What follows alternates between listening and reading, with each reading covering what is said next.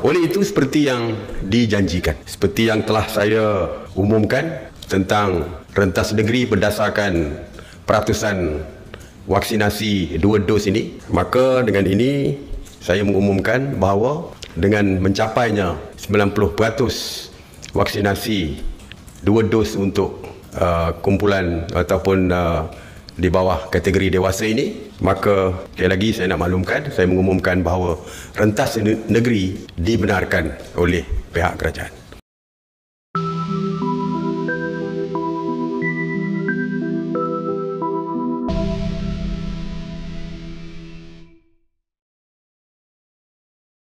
Assalamualaikum warahmatullahi wabarakatuh dan selamat sejahtera kepada semua subscribers aku. Terima kasih kerana setia bersama aku. Kepada yang baru masuk tu nama aku Nasa dan ini adalah Aizen Nasa Sport. Seperti biasa sebelum aku bermula jangan lupa ketik butang subscribe, ketik butang like, share, komen dan jangan lupa ketik butang loceng untuk mendapat notification terkini daripada aku.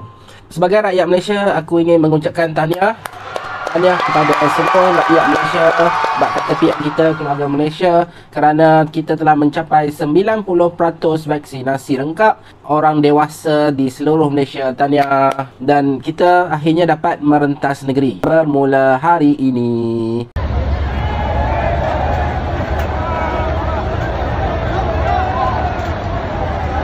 apabila kita sebut pasal rentas negeri ni maknanya kita sudah beralih kita sudah perlahan-lahan beralih dari fasa pandemik kepada fasa endemik. Apabila kita sebut pasal endemik ni bermaksud kita bersama-sama akan hidup bersama virus COVID-19 apabila kita sudah hidup bersama virus COVID-19 ni maksudnya sudah tiada sekatan negeri kita bertanggungjawab kepada diri kita sendiri. Sebelum ni pihak penguatkuasa pihak kerajaan pihak KKM semua dia mengawal pergerakan kita. Dia sekat sana dia sekat sini. Maksudnya dia dia ingin cuba mengekang seboleh-bolehnya virus COVID-19 daripada terus merebak. Sebab virus COVID-19 ni adalah dibawa oleh manusia. Daripada manusia tu kepada manusia ni daripada kita ke orang lain ataupun mungkin daripada siapa-siapa. Maksudnya pembawa virus tersebut adalah manusia. Namun apabila kita sudah beralih ke fasa endemik maksud dia kita kena jaga diri sendiri. Tiada lagi sekatan rentas negeri banyak kelonggaran telah diberikan. Walaupun kita kena ikut SOP tetapi adakah kita sebagai rakyat Malaysia adakah kita jenis patuh SOP?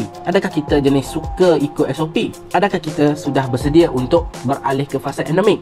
Adakah kita boleh mengawal diri kita apabila kelonggaran-kelonggaran ini diberikan? Sedangkan semasa sekatan rentas negeri ataupun semasa SOP yang ketat pun kita masih melanggar lagi SOP-SOP yang dibuat. Apatah lagi apabila SOP-SOP ini dilonggarkan kelak. Adakah kita bersedia untuk hidup dalam fasa endemik? Apabila kita dah beralih ke fasa endemik, kita bertanggungjawab ke atas diri kita sendiri. Apabila kita dijangkiti virus COVID-19 kan ada dua kebarangan kalian. Sama ada kita akan sembuh ataupun tidak sembuh. Apabila kita sembuh Alhamdulillah kita telah divaksin. Maksud dia virus tersebut tidak dapat survive di dalam badan kita. Bagaimanakah kesannya apabila kita tak survive apabila kita tidak sembuh? Ini sama ada kita semakin teruk dan merauzubillah dan satu lagi kita akan sembuh. Harap kita akan sembuh lah tetapi apabila kita ber- pergi ke bahagian yang satu lagi yang kita tak nak tu maksud dia apa yang aku nak cuba sampaikan ini adalah kita masih lagi boleh dijangkiti virus COVID-19 sekiranya kita tidak menjaga diri kita sendiri. Walaupun fasa pandemik walaupun fasa endemik walaupun SOP diketatkan dikawal dengan rapi gila-gila walaupun tidak dikawal walaupun kerajaan sekat macam mana pun kalau kita tak nak ikut SOP risiko untuk kita dijangkiti adalah lebih tinggi. Jadi kita tanya diri kita balik